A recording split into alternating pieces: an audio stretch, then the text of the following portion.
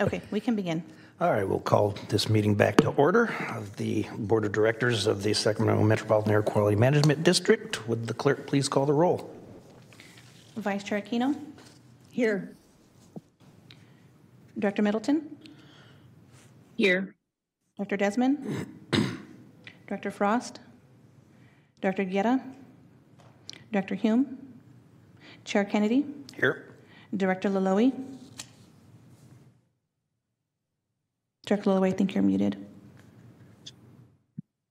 Director Maple, Here. Director Vandenberg, Director Cerna, Here. Director Singh Allen, Here. Director Terry, Here. Director Vang,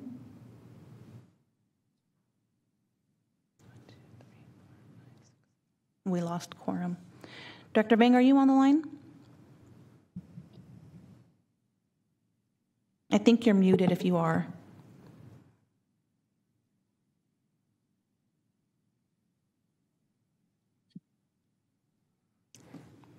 Is this the AQMD hazing process? Director Vandenberg just uh, sent his thumbs up. So let me go back. Yeah, I just, uh, this is Jamil Moons. I sent him a message. He was asking, he says he's not feeling well on the chat, and I wanted to let him know that after consent calendar, that there are no um, vote, and he did respond positively affirmatively, so So we have quorum now. if that counts as he's present or uh, he's still active on the, on the site. Looks like he's unmuted now. Um, Selena, why don't you try again? Director Vandenberg?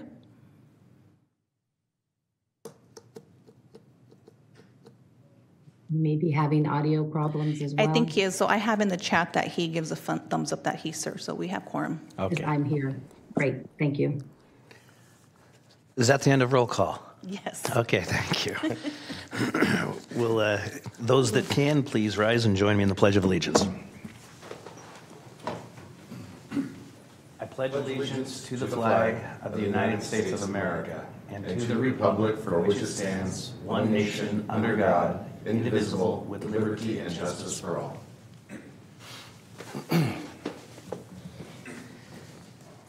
Madam Clerk, you have announcements? Yes. In compliance with directives of the State and Center for Disease Control and Prevention, the physical location of this meeting is closed to the public, consistent with state and local officials' recommendations to promote social distancing and Assembly Bill 361. Members of the public are encouraged to participate in the meeting by observing the meeting in real time at metro14live.saccounty.gov, Zoom video conference, conference line, and by submitting written comments electronically by email at boardclerk@airquality.org. Comments submitted in person will be delivered to the Board of Directors by staff. Public comments regarding matters under the jurisdiction of the Board of Directors will be acknowledged by the chairperson and accepted until the adjournment of the meeting, distributed to the Board of Directors, and included in the record.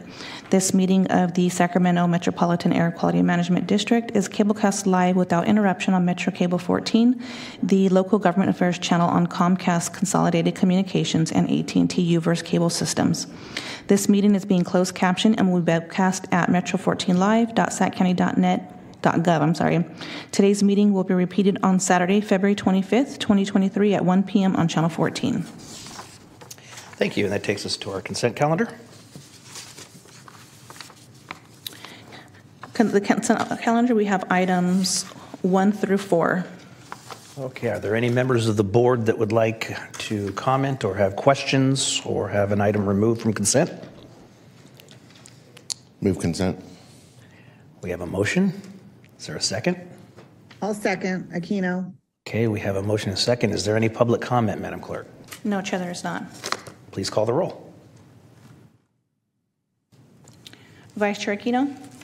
Aye. Director Middleton? Aye. Director Desmond? Director Frost? Director Guerra? Director Hume? Chair Kennedy? Aye. Director Laloy? Director Laloy, can you just look up and give me a thumbs up if you are having audio difficulties?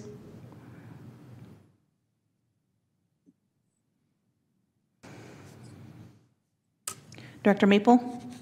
Aye. Director Vandenberg? Director Vandenberg sent me a yes through the chat. Director Cerna? Aye. Director Singh Allen? Aye. Director Terry? Aye. Director Vang? Director Vang, can you get, send me a message to the chat if you're able to?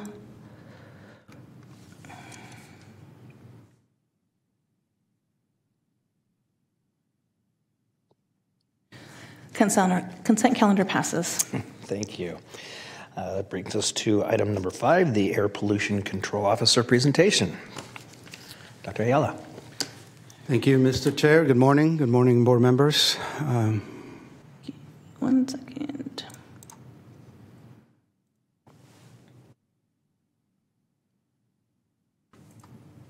Okay. Next slide, please. Thank you, um, Board Chair, and um, uh, I have uh, just a couple very brief items to share with, with you all. And um, perhaps uh, the technical difficulties we are facing this morning uh, are an omen because uh, let me remind you that uh, today is the, the last meeting that we'll be able to uh, come together for your Board of Directors meetings in the current format. As you know, the executive order is going to end uh, next week on the 28th. And it's fitting that one of the things that we are working uh, on, per your direction, is some recommendations in terms of how to return back to the traditional Brown Act requirements. Uh, and we are going to fold into this recommendation uh, some of the work that we have shared with you in the past related to the air quality benefits of teleworking, um, teleconferencing, and frankly, just not having to drive around to meet in person as, as we used to do before the pandemic. We've all grown used to the technology. Now we know most of the time it works, notwithstanding uh, today. Um, so one of the things that we're going to be doing is providing some recommendations and easy to follow uh, directions uh, to our sister agencies, primarily public entities that are subject to the Brown Act. Um, and to our surprise, there's quite a bit of, of, interest in this. There's still quite a bit of uh, confusion, if you will, in terms of what this means. And the letter, the, the correspondence we're working on is actually going to be pretty far reaching because we want to reach to regional agencies. Obviously, we are going to be reaching to state agencies. Uh, so I think at the running list, we have probably north of uh, 100 recipients that we want to reach out with this recommendation. But in, in, in summary, um, we are going to come up with alternate locations for you all to convene in our board meetings.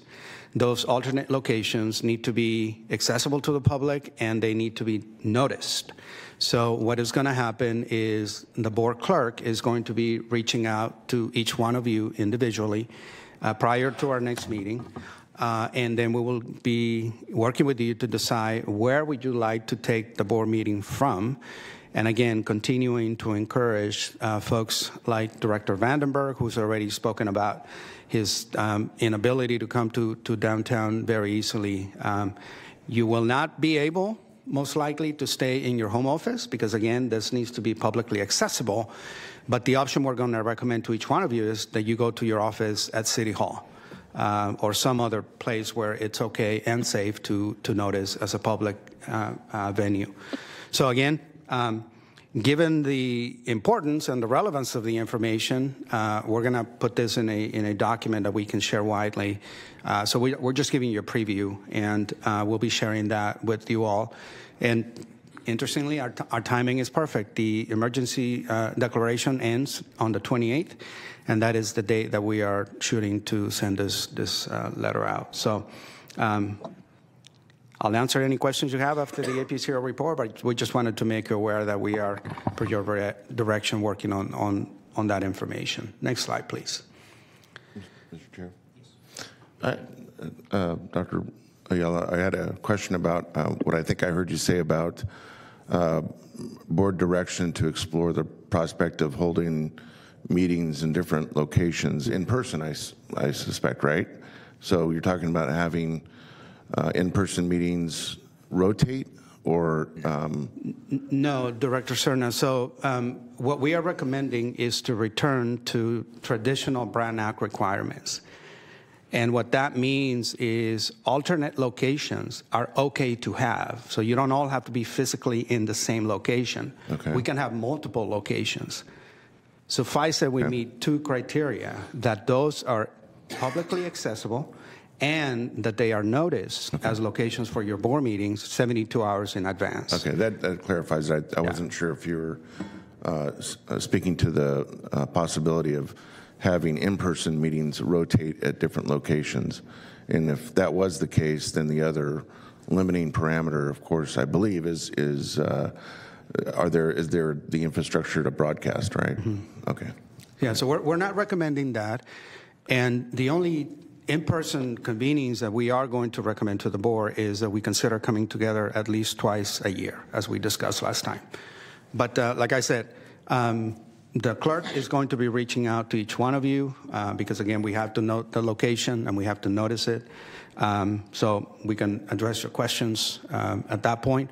Um, and again, we're going to put this information along with the, the arguments for why this is good for our quality in, in this correspondence uh, that we're working on. So Next slide, please. Oh, I'm sorry. We're already there. The last item that I want to share with, with you all is, is, again, just to give you a heads up, because obviously uh, locomotives in, in our region are uh, pretty visible uh, from the standpoint of, obviously, we have a lot of locomotive activity, we have the museum, what have you, but um, we've been made aware of an issue, uh, and the issue is simply um, idling locomotives that idle for what we think is presumably too long. We're talking in some cases days without uninterrupted idling activity. Clearly, the concern is public health. Diesel emissions are a known carcinogen. Uh, it happens that some of the complaints that we've received in, in the Sacramento area for these idling activities are right next to people, residences, and, and so forth. So this is something that we are going to be looking into. And again, the point of us uh, bringing this to your attention is that you are aware of it. Uh, we're already talking to UP and we're in communication, uh, exchanging information. Um, we're not the only air district that is dealing with these issues, unfortunately.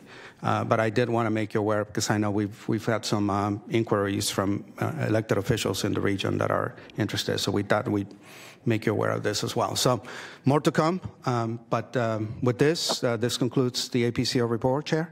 I'd be happy to answer uh, any questions you may have. Thank you. Thank you. Are there any questions from the board? Director Maple has her hand raised. Director Maple.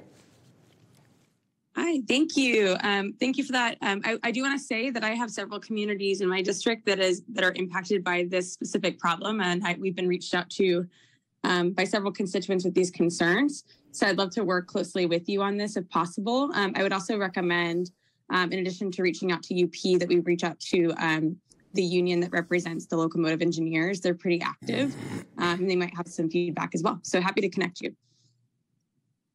Yeah, thank, thank you, uh, Director Maple. We'd be happy to uh, connect with you as well. And, and again, thank you for, for sharing that. Part of the reason we wanted to bring this to your attention is, again, because I know your constituents, for some, some of you, are reaching out to you. So, you know, we are, we are working on it. We're on it. Um, we'll keep you updated. Any other questions or comments? Not at this time. Do we have any comments from the public? No, Chair. Thank you. Uh, uh, Director Ayala, I will say thank you to you and your staff for taking leadership on the Brown Act guidance for teleconferencing. Um, You are accurate and there's confusion. Um, I, I, you know, of all the boards we all sit on, I have heard multiple interpretations of it. So uh, I think it's appropriate that, and you and I have been talking about this for years, uh, that the AQMD take the lead and hopefully we can get a unified position and policy throughout the region. So thank you for that. Next item, please. The next item on the agenda, dis- the discussion calendar, item number six, 2022 heat event and emission impacts in Sacramento, and I have Brian Krebs on the line to give a presentation. Uh, hopefully my, my audio is working. We can hear you. We can hear you. thank Thank you, Brian. Okay, well, let's go ahead and get started. Um, good morning, uh, Chair Kennedy, members of the board.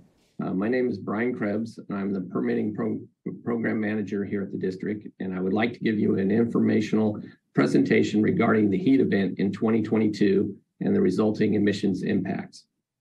I also want to point out that the presentation that, I, that I'm about to give has some slight changes on slide three uh, from that which is part of the originally sent agenda packet. Um, next slide, please. Uh, to start with a little background, at the end of last summer, uh, specifically August 31st uh, through September 9th, uh, California and the adjacent western states went through an unprecedented heat wave. This resulted in a record use of electricity and called and caused a Cal ISO grid emergency. Uh, though I will be talking about the heat event of 2022, uh, we experienced similar events in 2021 uh, with climate change making these events more and more common. Uh, next slide, please.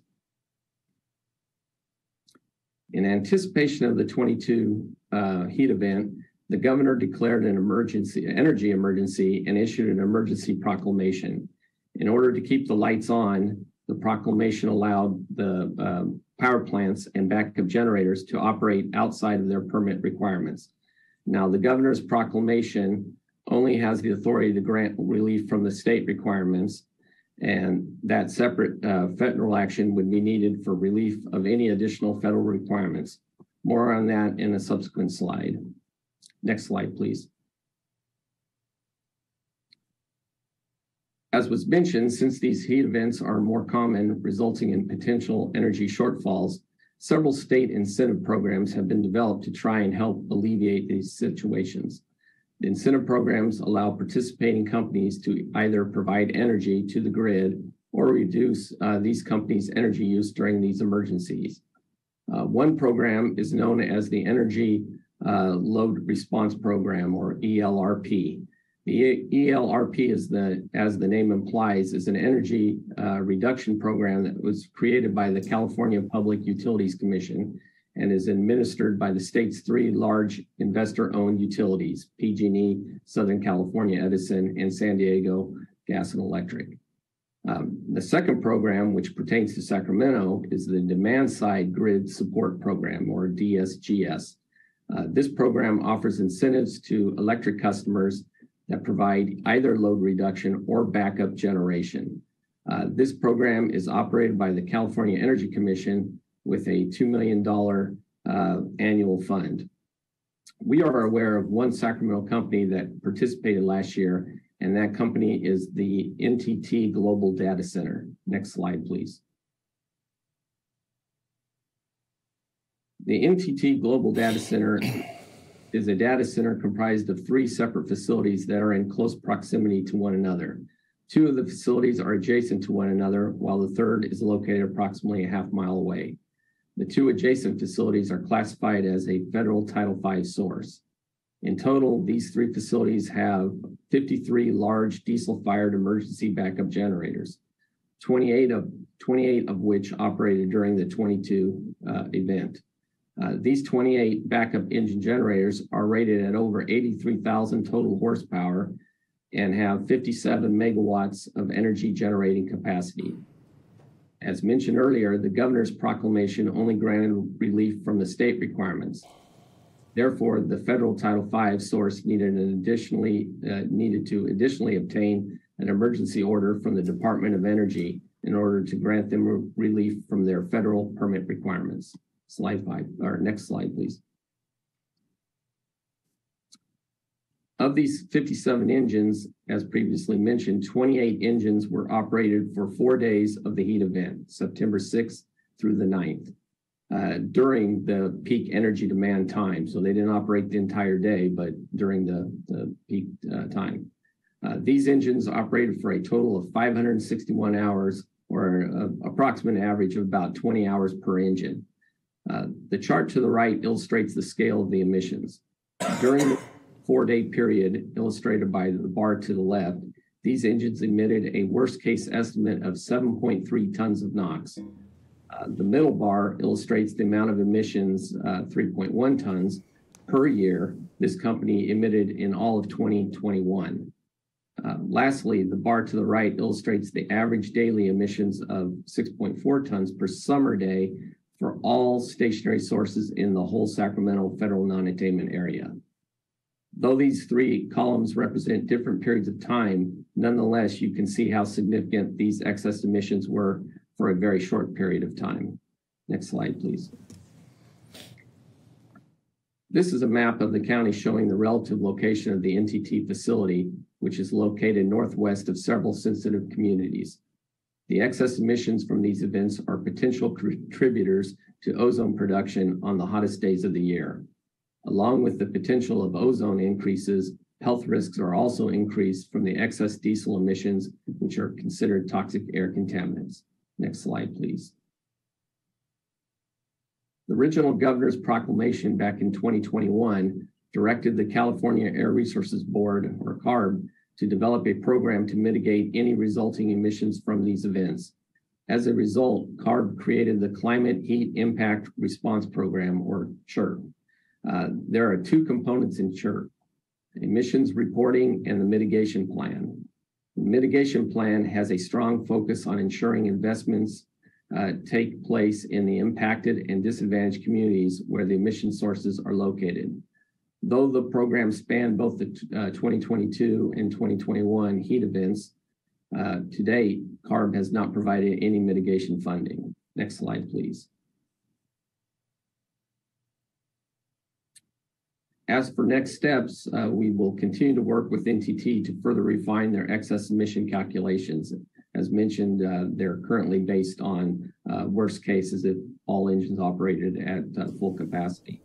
Um, we are also working with CARB CHIRP, uh, the CARB CHIRP team on the mitigation process in hopes of ensuring that the mitigation is tied to the affected communities. In conclusion, as you can see from Sacramento's experience last year, keeping the lights on does come at the expense of air quality. The district is in full support of the public safety aspects of keeping the lights on. However, since these types of events are anticipated to continue on into the foreseeable future, we are advocating and working with the state, air districts, and other energy partners for cleaner and better alternatives than the use of diesel backup generators when confronted with these types of heat emergencies in the future. Next slide. Uh, this concludes the presentation, and I will be happy to entertain any questions. Are there any questions from the board?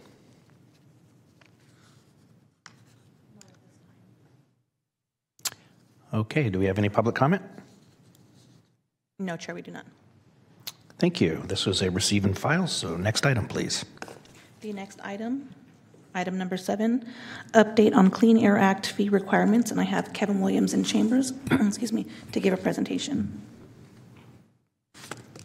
Okay, good member, good uh, morning, members of the board. My name is Kevin Williams.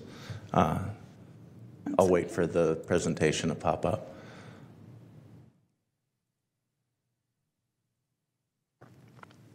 My name is Kevin Williams. I supervise the rulemaking group at the district. I'm here to give a presentation on a rule that we'll be uh, taking next month for a, for a hearing before the board. It's, uh, it involves uh, penalty fees imposed by the Clean Air Act on uh, major sources uh, in the event that we should uh, not achieve air quality standards. Next. Federal EPA uh, frequently reviews and adopts new air quality standards and uh, evaluates whether particular regions are in attainment for those standards based on monitoring data. Uh, re- regions that are uh, designated as, as, uh, as uh, non attainment areas then are classified according to the severity of the, of the problem. And those classifications uh, can range from uh, marginal to extreme. And uh, uh as you move forward in this, uh, in this range of uh, classification, you end up getting more time to attain. But those, those classifications come with additional restrictions as you move forward. Next slide.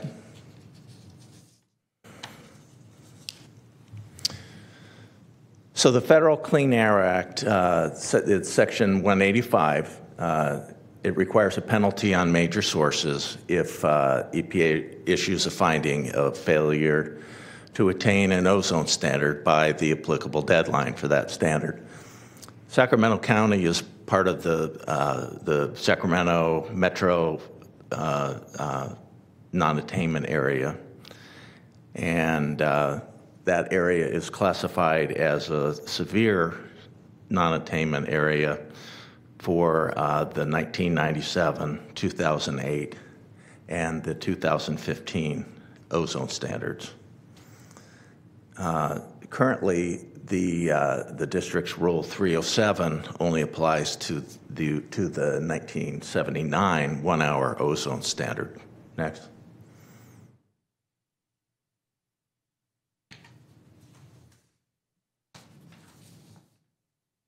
So the, the Clean Air Act uh, uh, uh, penalty fees are, are triggered by a, by a finding of failure to uh, achieve the standard.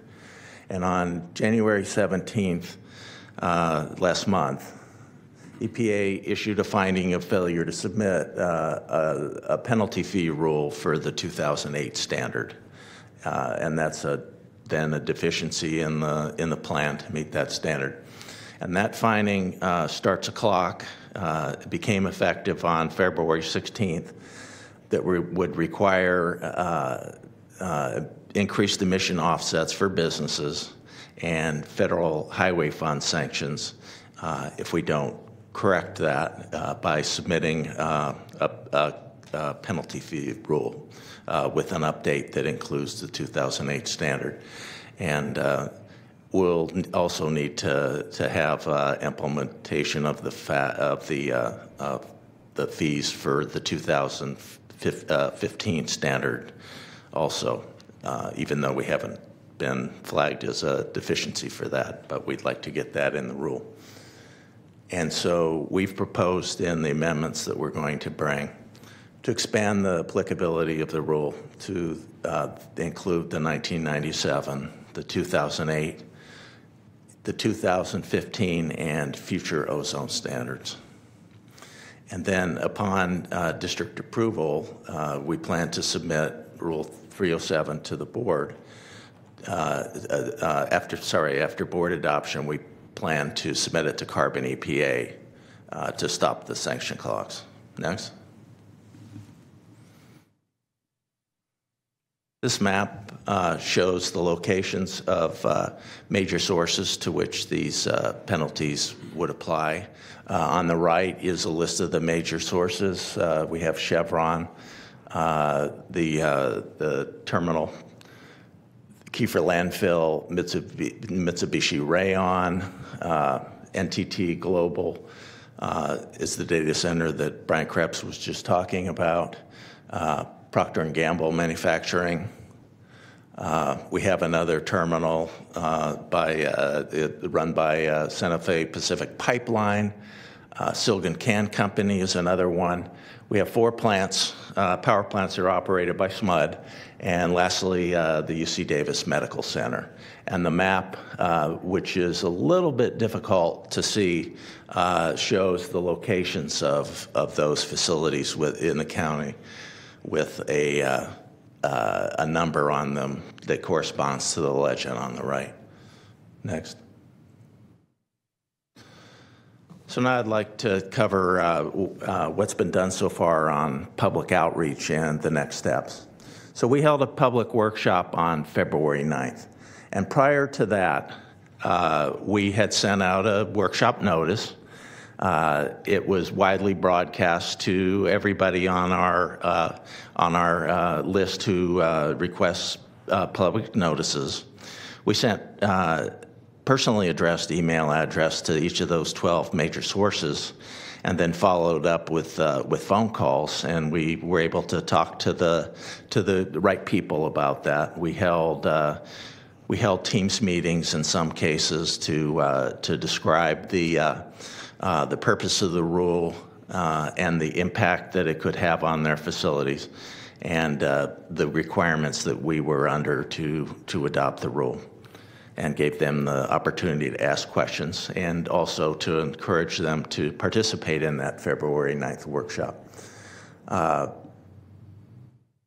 the, as a next step, the, these proposed amendments to Rule 307 are going to be brought before the board uh, at the uh, March 23rd meeting uh, uh, for a public hearing.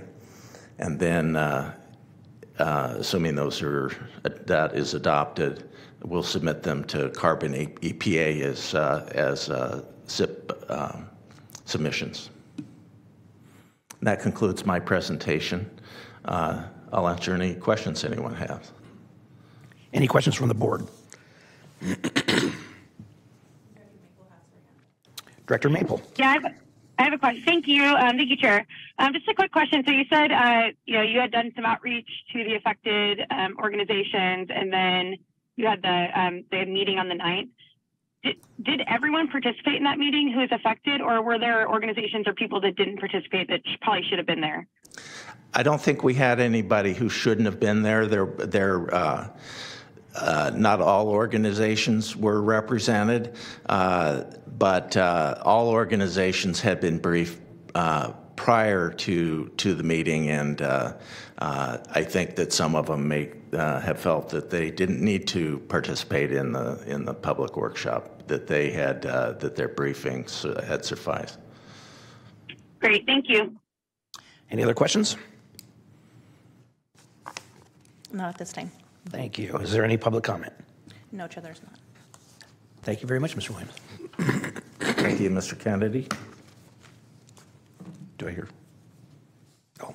Next uh, item is closed session, and members uh, who are present, or a member who is present, uh, you know, we will move to the, uh, the hearing room.